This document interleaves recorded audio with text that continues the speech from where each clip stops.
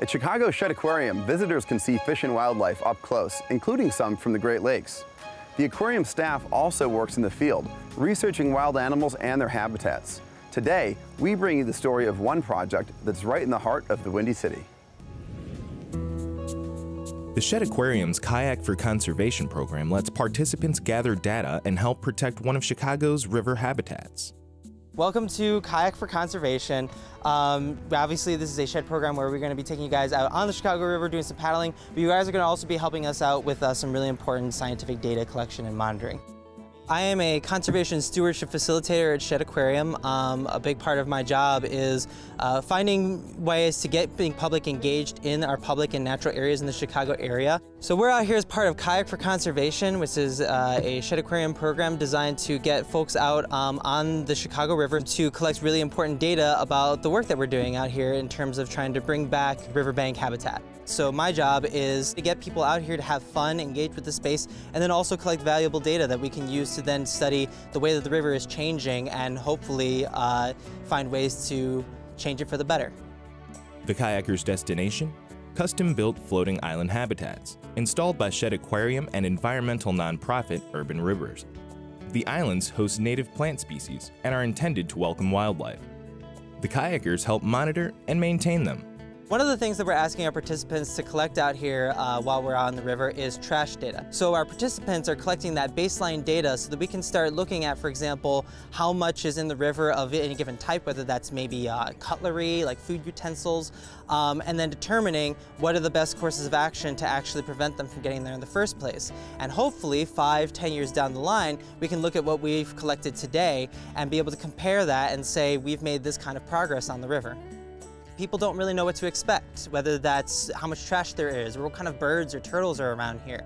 And so we have an opportunity to really show people down on the river, up close and personal, just what this river and this space has to offer. And more importantly, showing them if this is what it looks like now, this is what it could look like, giving them a vision and an idea of what an incredible space this can become. It's actually cleaner than what it than what we thought it was. The Chicago River, you don't think beautiful, gorgeous flowers, scenery. You don't think, okay, these buildings is here, but they make the water look nice too. They all complement each other.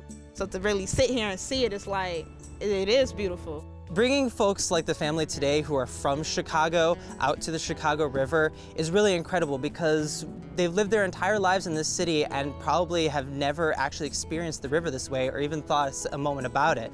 So have, providing an opportunity for people to have that aha moment to really see things with a new fresh set of eyes is incredible.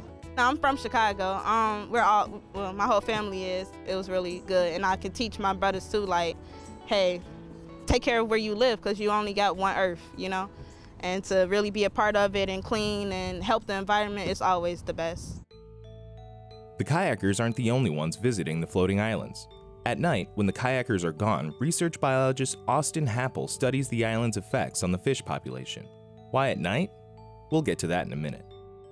I'm specifically sort of looking at how do these islands provide any benefit to organisms that are living within the waterways. So uh, I'm going out at night like I am tonight to look for larval fish to see if fish are spawning on those islands more than they are elsewhere or at least what times are they spawning and what fish are using this area.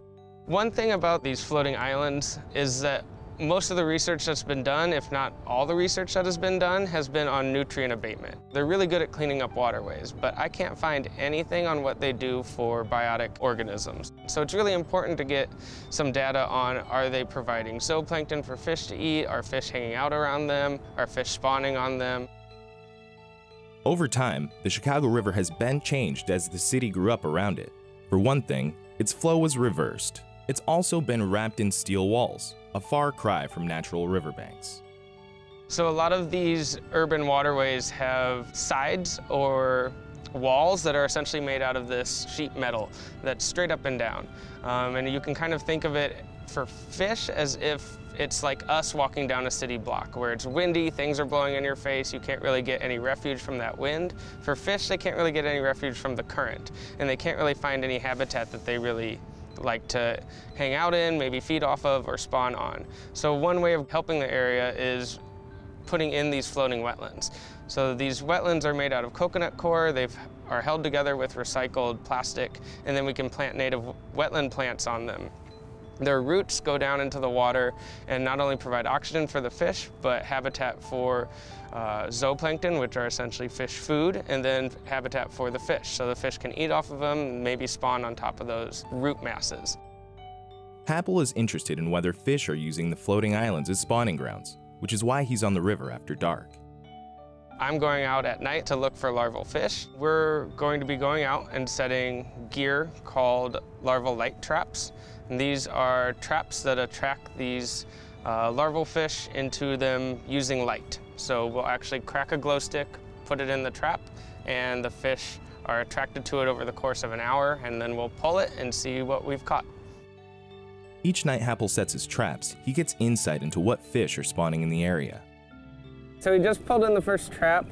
I'm trying to kind of wash everything that's within this pan down to one area so I can get a sense of what is in here. And then I like to try to just see what I've caught. It looks like there's um, a scud in here, which is a type of freshwater shrimp. And then, yeah, there's a larval fish swimming around. The data Happel collects will be compared with historical data to paint a picture of how the river's spawning fish population is changing over time. I'm working with the Metropolitan Water Reclamation District of Chicago to look at what fish are hanging out in this section of the river and how is that changing from before we put the islands in to now as we're building more and more islands and this project is growing. This is a highly urbanized area that we're trying to rejuvenate. So if we can see what fish are spawning here now, we might be able to see and track a difference in what fish are spawning as these islands build out and we get a larger uh, floating wetland mass in this area. So one thing our partners Urban Rivers is learning about them is how to actually put them in, how to maintain them, how long do they last, what are best practices, that way other cities can kind of emulate the project. Since the river's reversed, it's kind of difficult to talk about how this area might have a direct effect on Lake Michigan, but it's not like this couldn't be replicated in the Cuyahoga or in the Kalamazoo or in the Fox River or other rivers that flow directly into the Great Lakes. So this might end up being a model system that can help both clean up nutrients and provide fish habitat for other Great Lakes cities. For more on these stories and the Great Lakes in general, visit greatlakesnow.org. When you get there, you can follow us on social media or subscribe to our newsletter to get updates about our work. See you out on the lakes.